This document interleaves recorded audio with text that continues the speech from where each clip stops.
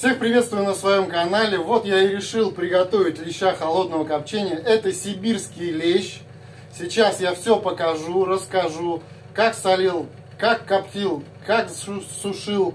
Смотрите, будет интересно. Ну а как это будет, все увидите в этом ролике. Смотрите до конца, будет интересно. Ну а будет все, как всегда, я думаю, хорошо. Вы увидели уже готовый результат. Я приступаю к разморозке сибирского леща. Сейчас я его размораживаю и буду разделывать. Потом покажу весь процесс, вам все подробнейше расскажу, покажу. Смотрите до конца, будет интересно. Лещ разморозился, приступаю к его разделке. Лещ свеженький, недавно пойманный. Леща буду разделывать на книжку, раскрывать по спине. Ну все, смотрим, ускоряемся.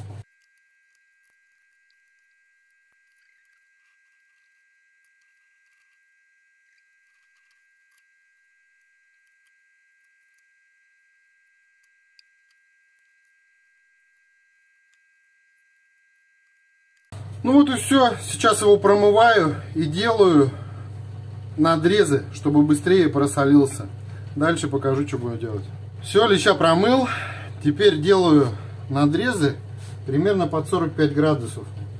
Вот таким способом. Чтобы потом, когда он будет висеть у меня, ну, головой вниз, чтобы раскрытие вниз шло мясо, так сказать.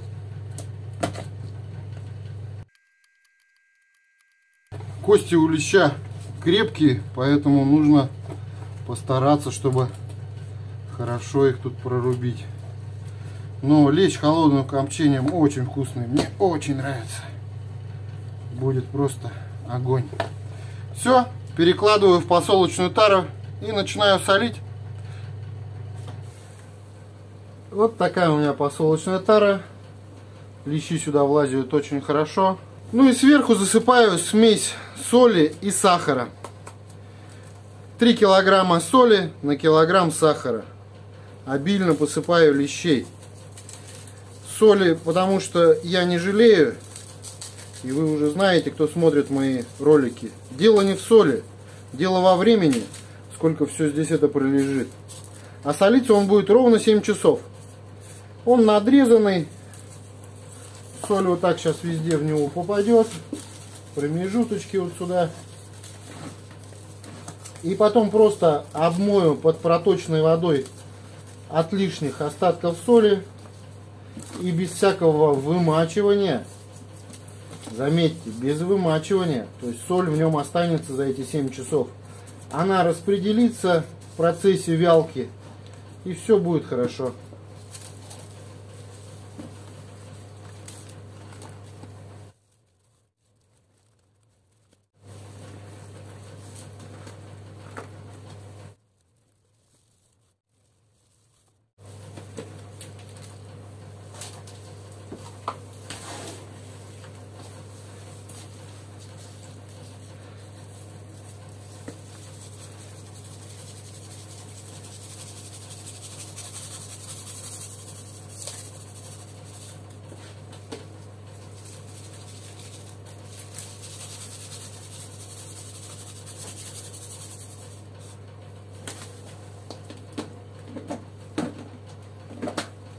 Встречаемся через 7 часов.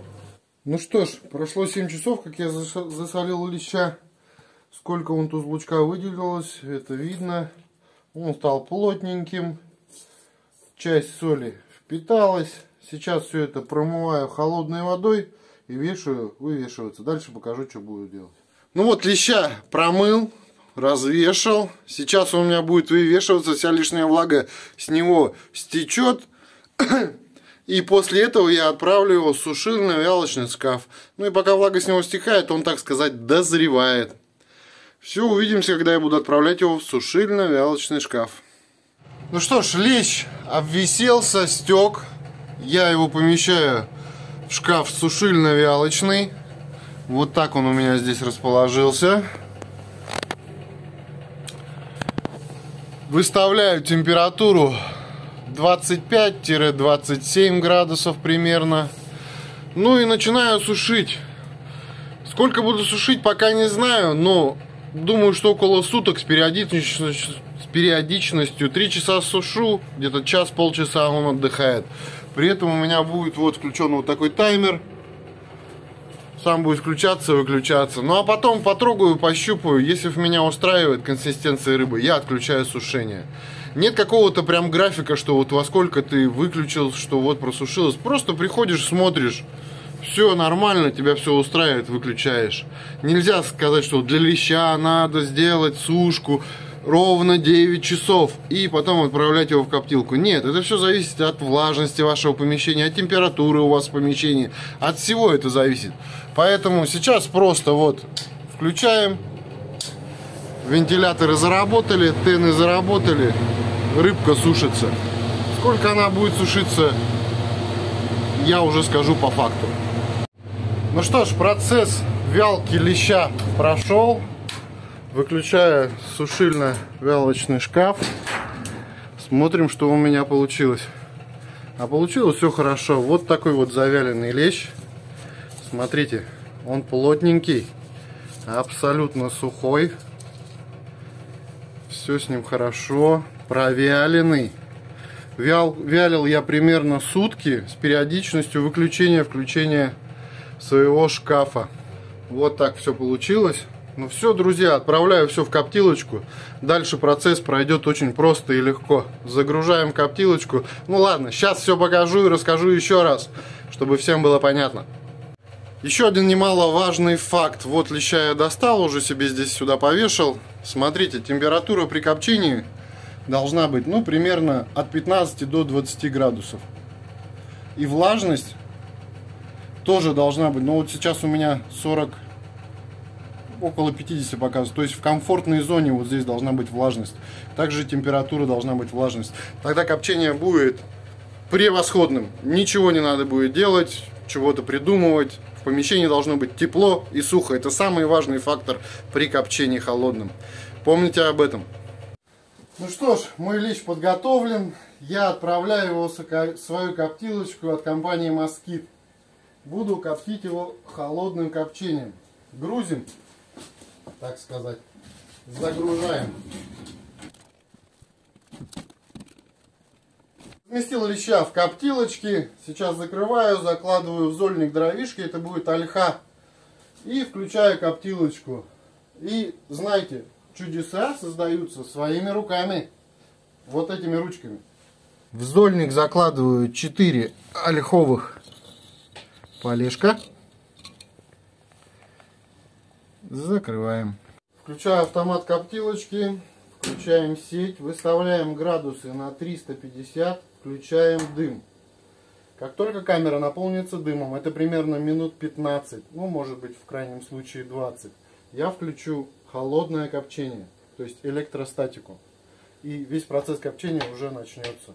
После этого ждут час, час 10, и дальше покажу, что происходит. Погнали. Ну что ж, прошел часок. Все отключаем. Дровишки я уже выключил.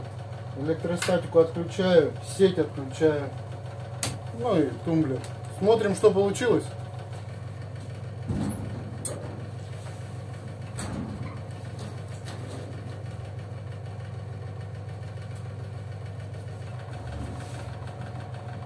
Ну вот достаю сразу первого попавшегося веща.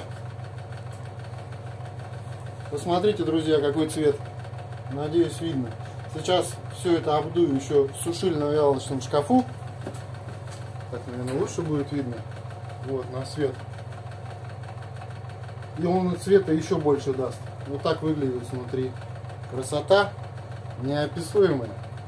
Ну что ж, вот конечный результат. Вот такой лещ у меня получился. Посмотрите, какой цвет. Надеюсь, вам все видно. Лещ очень жирный, сибирский, ластится. И хочу еще сказать, друзья, мои видео носят рекомендательный характер. Я не технолог, не какой-то там супер-пупер рыбных дел мастер. Я просто копчу рыбу, это мое хобби. Копчу я вот в этой копчилочке от компании Москит. Хотите, делайте так же, хотите, не делайте так же. У каждого свой фэншуй. Так что, друзья, всем спасибо, кто досмотрел это видео до конца. Мечты не работают, пока не работаете вы. Вот такой результат я делаю реально в своей коптилке. Нигде его не покупаю, не беру. Весь процесс я рассказал. все показал. Всем спасибо. До новых встреч. Удачи!